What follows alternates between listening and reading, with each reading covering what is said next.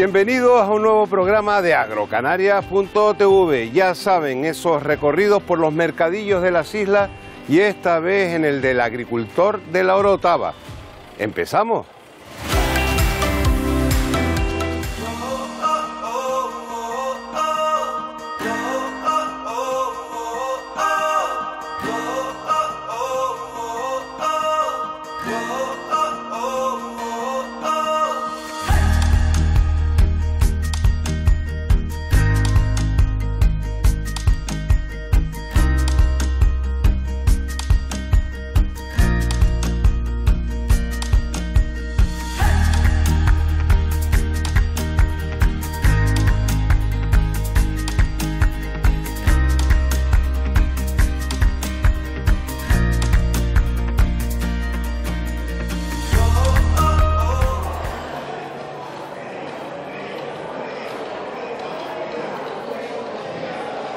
Mientras yo sigo curioseando la oferta de vinitos que hay en la zona, vamos a contenido.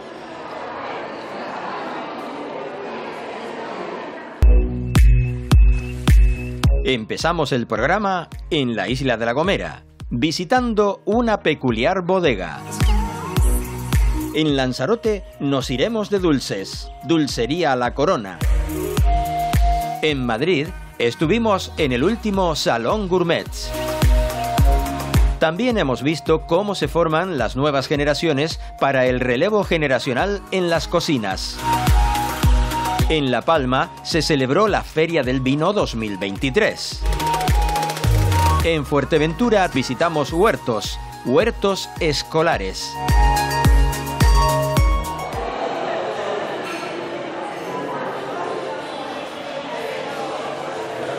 Magnífica exposición. ¿Cuándo fue la última vez que se tomó usted un potaje canario con cuchara de madera? Nunca. Pues prueben y busquen la artesanía canaria. Yo por mi parte me voy a comer ahora el programa a cucharada.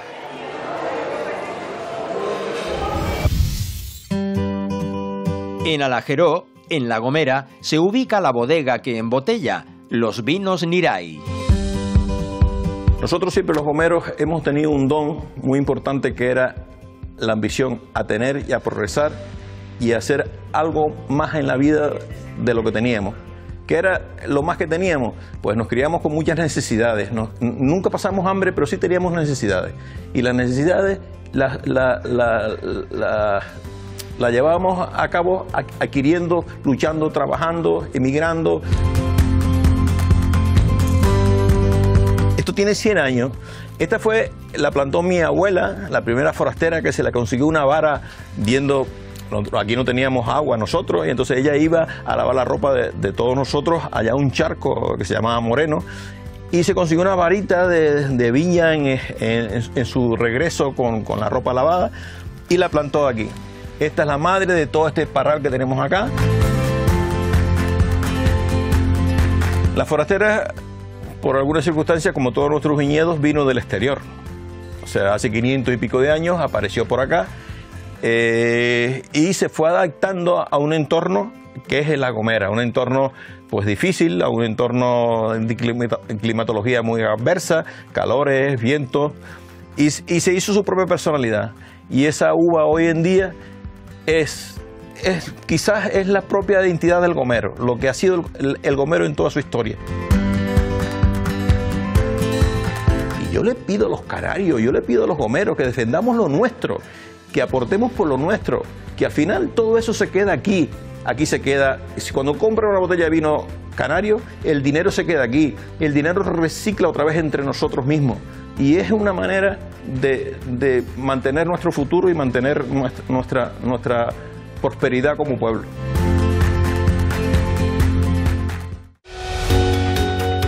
Dulcería La Corona rico rico y con fundamento en Lanzarote. Me enamoré del chocolate porque es un producto que es como alquímico, que puedes derretirlo y convertirlo en cualquier cosa. Y encima permite la conexión con productos de cualquier tipo o de cualquier procedencia. Al ser yo de Lanzarote, mm, siempre tuve la, creencia de que se podían maridar muy bien algunos de los productos de Lanzarote o hacer productos que pudieran maridar a su vez con productos de Lanzarote. Mi aportación a todo esto es eh, producir un bombón cambiando uno de los ingredientes que normalmente utilizo nata por leche de camella. Una de las particularidades positivas que tiene la leche de camella, sobre todo en mi aspecto, es el hecho de que mm, no sigue coagulando y al no seguir coagulando el bombón, eh, la ganache queda mucho más cremosa, a la hora de morder queda mucho más cremosa que los bombones normales. Tuve una pasión y tuve un hobby que era hacer chocolate y con ese hobby pues se acabó convirtiendo en mi profesión porque la gente lo iba demandando cada vez más. Lo que hacemos nosotros es bombonería artesanal. La bombonería artesanal se puede basar en, dos cosas. En bombones de corte, haces una plancha de una ganache, la cortas y después la bañas en chocolate, o bombones de concha. Cada día hacemos un grupo de, cosas y vamos adelantando lo que es el trabajo en volumen. Y después tenemos también lingotes, que son bombones pero de 250 gramos porque había gente que nos pedía en cajas de monovariedades de una sola variedad que les gustaba y al final acabamos haciendo unos lingotes que los podían cortar directamente en su casa. Casi todo es local. Eh, sí es cierto que cada vez exportamos más por el hecho de no exportar nosotros, sino hay, que hay clientes que vienen a Lanzarote nos conocen o ya nos conocían de antes, vienen y van a la tienda y se llevan mucho producto y se lo llevan para afuera. Pero, y, vendemos a algunos clientes que nos lo solicitan en Fuerteventura, en Canarias, Tenerife, envíos locales, envíos puntuales.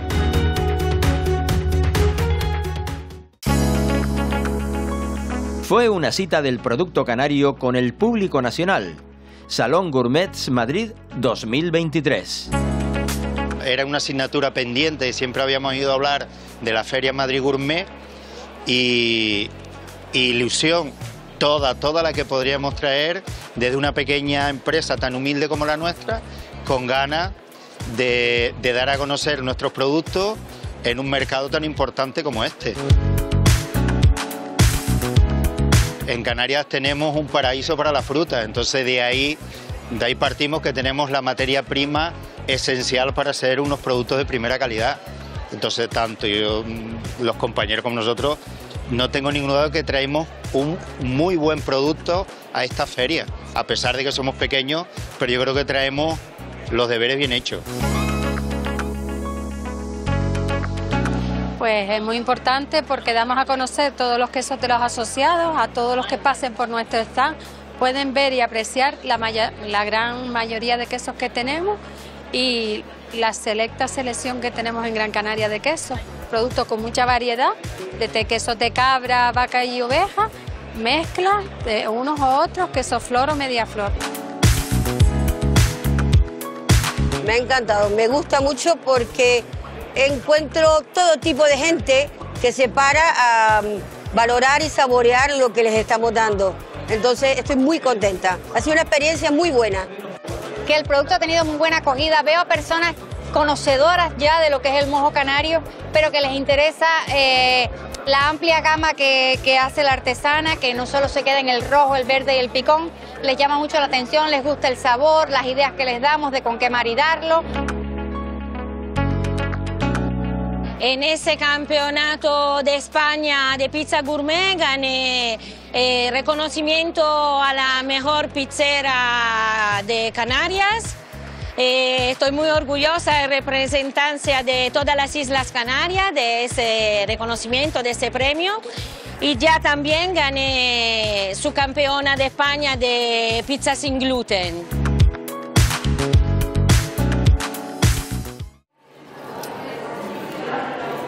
Observen qué maravilla, pan artesanal, obradores de nuestras islas, aroma. Y el alimento básico es capaz de en la actualidad evocar el pasado, las cosas bien hechas. Así que nosotros, además de acompañar con un buen plato canario, vamos a procurar consumir estas maravillas, pues yo les animo a que compren pan artesanal, producto canario.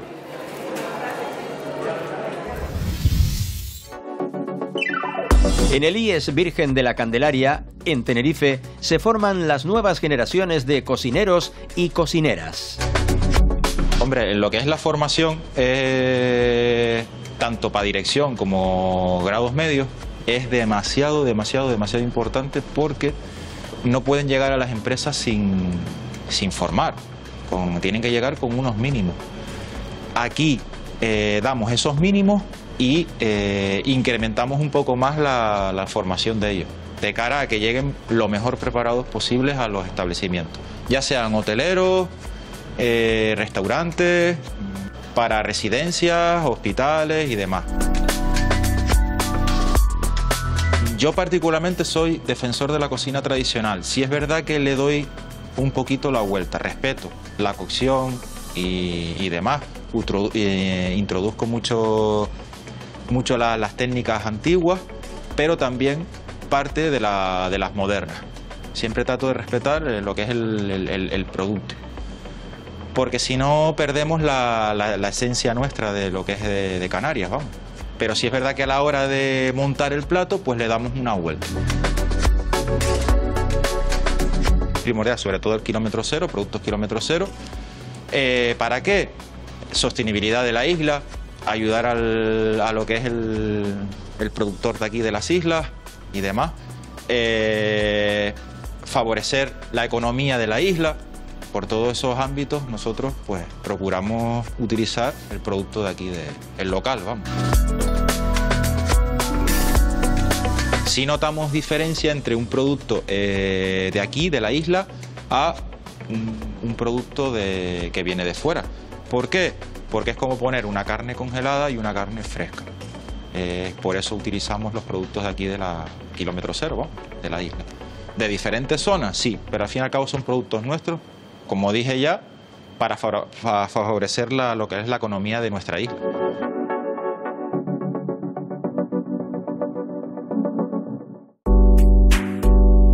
En Santa Cruz de la Palma se celebró la Feria del Vino 2023. Bueno, la verdad que es una oportunidad para acercar el vino de La Palma pues al consumidor, ¿no? Al consumidor palmero. Hemos sacado el vino de, las bodegas, de distintas bodegas de la isla, que hoy estarán representadas ocho bodegas de las 21 que hay acogida la denominación de origen de vinos La Palma y es una oportunidad para, bueno, pues para darlo a conocer y principalmente para entablar relaciones entre consumidores y productores, que creemos que eso es súper importante para el mantenimiento de este vivo, para el mantenimiento vivo de este sector. La verdad que es un sector muy importante, además como yo digo, sale todo de La Palma, ¿no? La uva es de La Palma y con uva de La Palma se elabora el vino de La Palma, ¿no? Entonces es una industria que genera pues mucha riqueza y mucha economía en la isla y además eh, mantiene vivo un patrimonio muy importante que son esas variedades ancestrales que llevan aquí conviviendo con nosotros los últimos 500 años, ¿no? Desde que llegaron dar a conocer la calidad, la excelencia y la cantidad de, referencias distintas que, tenemos en la isla, porque eh, podemos estar hablando de más de 100 referencias entre tipos, marcas, variedades, y eso hace que, bueno, un patrimonio muy importante que tenemos aquí en La Palma. Tan espectacular y tan abrumador que tenemos, pues hace que podamos tener variedades cultivadas eh, de vid desde los 200 metros hasta los 1500 metros de altitud, en dos vertientes distintas y eso hace, bueno, porque tenemos una diversidad eh, fantástica y que es importante darlo a conocer para que la gente de La Palma sepa realmente lo que aquí se, elabora, lo que somos capaces de, de hacer. Por esos microclimas, entre variedades, trabajamos con, al fin y al cabo trabajamos con 23 tipos de uvas distintas. Entonces eso genera pues muchísima riqueza y hace que bueno que tengamos pues muchas diferencias también marcadas entre la misma variedad cultivada en una zona y en otra zona, porque por esos microclimas y esas altitudes a las que se pueden dar y pues nos hace ser un poco diferentes también en ese sentido.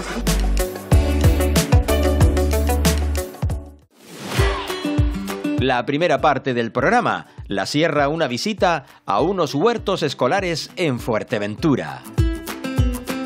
Se considera que los centros educativos son unos lugares de, custodia y de cuidado del medio ambiente. Entonces, para cumplir este objetivo de la nueva ley educativa, el huerto escolar es una herramienta valiosísima para, para cumplir esta, esta pauta de la, de la LOMLOE. Es un lugar de aprendizaje, un lugar donde se puede aprender lo que es la agroecología en todo, en todo su, su amplio significado y lo que es la educación ambiental.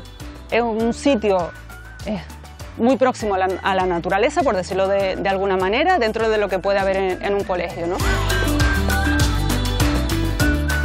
Mi experiencia ha sido bastante positiva en el sentido de que los niños salen del aula a trabajar en un entorno natural, que normalmente están como muy haciendo fichas, cuadernos, libretas, y aquí están en un entorno natural donde tocan la tierra, tocan las plantas, ven los bichitos que van saliendo de aquí, y bueno, pues eso hace que tengan mayor sensibilidad con el medio ambiente. Algunos niños, eh, mi hermana, sí las ha probado porque el profe les, les dio eh, fresas. Sí, he comido fresas, he comido algunas hojas que se comen y nada más. Eh, yo que yo quiero probar porque ya he probado del centro comercial, pero nunca recién sacado del vuelto y lavado. Yo quería probar fresas y zanahorias.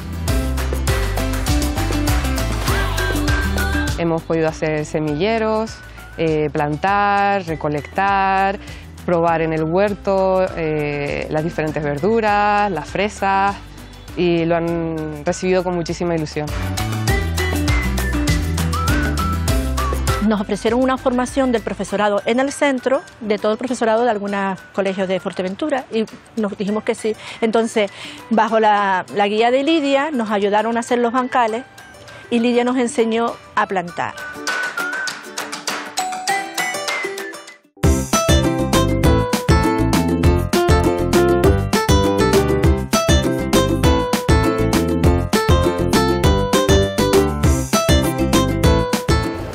Seguimos con productos de primavera y no nos podía faltar los higos picos, en este caso los higos rojos o tunus indios. Eh, históricamente son más digamos, consumido todo lo que es en la provincia de Gran Canaria, pero también nuestras bisabuelas, tatarabuelas las utilizaban para comer y no solamente eso, sino para pintarse los labios. Entonces, mmm, vamos a, a, aprovechar que estos enzimas están sin, sin pico y por supuesto una vez cortado y pelado, no hay otra, esto hay que comérselo. Mmm, súper rico. Gracias, Cristina. De nada, muchas gracias. Bien. Bueno, si me pillan comiendo es que viene el momento de los breves. Tradición es tradición. Por cierto, mil hoja de limón en el mercadillo del agricultor de la Orotava. Manjar de dioses.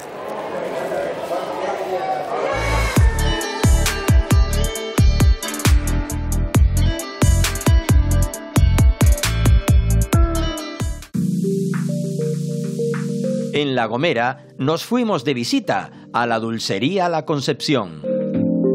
Bueno, la panadería la fundamos mi marido, mi hermano y yo. Hace cuatro años mi hermano se retiró y la hemos seguido mi marido y yo. Es la panadería La Concesión. Ahora tiene la dulcería La Concesión y la pastelería La Concesión. En este momento nos encontramos en la pastelería La Concesión. Es nueva, lleva, está abierta del mes de enero Nuestros productos estrella son la, las hogazas de masa madre y nuestro producto estrella, estrella, estrella es el don y el bollo gomero, como en todos los sitios de la isla. Las galletas típicas de la gomera, de nata, de manteca y las de rayas, que son las típicas de la gomera. Que vengan para la gomera a la concesión y que se las compren, que están buenísimas.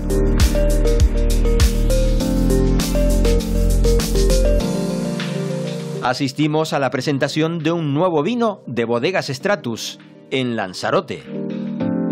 La idea es un poco recuperar el hilo de las variedades eh, que se han desarrollado aquí y ver un poco las posibilidades de vinificación eh, de cara a los a los mercados y a las modas que tenemos en este momento y de qué forma podemos adaptar este perfil de vinos tan singular y tan, tan exclusivo, entre comillas, a, a las demandas que hay de, vinos. ¿no? Y eso es lo que estamos haciendo un poquito, eh, tanto con el listán negro como con la malvasía, como, como pretendemos hacer con el listán blanco a futuro. Bueno, es un vino que, estamos empezando con, con, él y para la primera añada lo que tenemos es unos 3.000 litros, que eso en botellas son 3.600. ¿no? Eh, estamos empezando con el proyecto de Lista Negro y, y creemos, queremos crecer porque creo que, que, puede ser una variedad muy, muy identificativa de, la, de, los, de los vinos de la isla y para este año han sido simplemente, pues eso, unas 14, 16 barricas, eh, que son unas 3.000 y pico botellas, 3.600.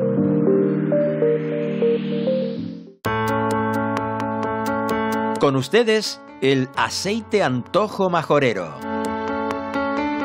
De las variedades interesantes como la verdial, que, tiene 8 o 10 ejemplares centenarios, que eso aporta mucha calidad, junto con la picual, arbequina, hojiblanca. Toda esa variedad, la verdad, que tienen una calidad superior desde el punto de vista organoléctico para, para la elaboración de aceite y como aceituna de mesa. Y vamos, y haciendo mezclas de estas variedades saca un aceite, como dice, antojo majorero, único, exclusivo y, diferenciado. Está hay unos olivos que están en, talú, en una talú ascendente y en, y en gavia. Y hay, un, y hay una variedad, porque está integrado en un palmeral. Es muy interesante porque hay una variedad, una biodiversidad interesante. No, es un monocultivo de olivo, de parra, etcétera, no, ha integrado hay una integración, una armonía, un equilibrio entre olivos, parras, cada uno bien identificado y separado, no mezclado.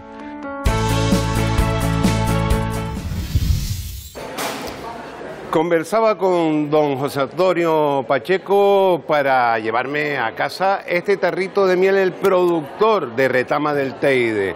Pero se me ocurre, yo quiero mandar a alguien un producto canario, por ejemplo, en la península, en Europa, canariamarket.com. Si además desde la península quiero eh, conseguir esos productos canarios, canariamarket.com.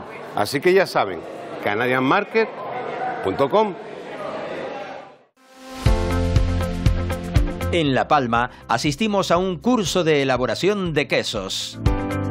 Básicamente se trata de formación para ganaderos y para gente que no son ganaderos, sino simplemente están interesados en el mundo del lácteo. Y pues empezamos haciendo eh, la primera, la el primer contacto, ¿no? que es el contacto con la leche, con el ganado. Hablamos de quesos frescos, es un curso práctico, o sea, los cinco días que estamos en el curso son cinco días que estamos trabajando. La formación que se imparte aquí en el centro son distintos ciclos, tenemos tres, hay dos mm, de carácter forestal, está el ciclo superior de gestión, eh, gestión forestal y de medio natural, después tenemos un ciclo medio que es de eh, aprovechamiento y conservación del medio natural y tenemos el tercer ciclo es el de producción agroecológica. Enseñamos a los chicos a utilizar todas las herramientas y demás y todos los abonos, los pesticidas y demás de forma ecológica.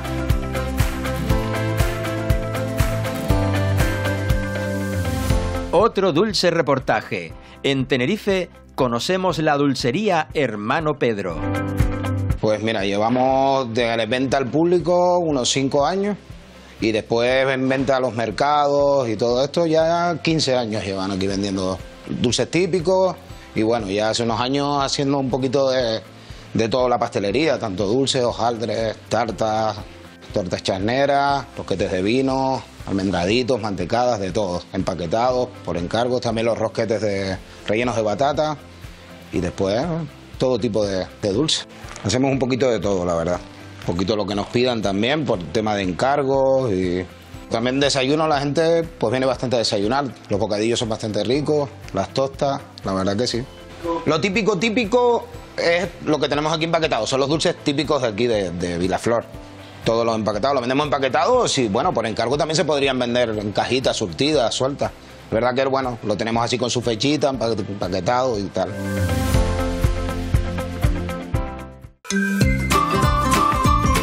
Acabamos en Gran Canaria con una receta de alcachofas con láminas de cherne. Bueno, a continuación vamos a, a ir marcando las alcachofas. Lo que hacemos aquí en, la bodega es que le ponemos una base de salsa de boletu, le damos la vuelta y lo que vamos a hacer es que lo vamos a flambear con ron aldea.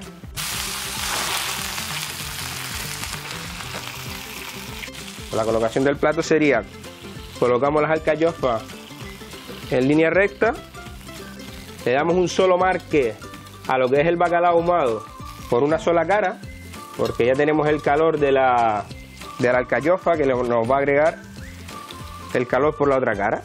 Agregamos el huevito escalfado en la yema del huevo con sal de boca cangrejo, cebollino fresco, tenemos el sirope del mismo ron de barrica que lo hemos reducido durante dos horas y vamos a terminar con unos brotes de cebollino. Ahí está, espero que les guste y les invitamos a que vengan a probarlo aquí, como no, en la bodega de la avenida. Muchas gracias por su visita al programa. Nos ha encantado curiosear en otro de esos mercadillos de nuestras islas y los esperamos el próximo sábado.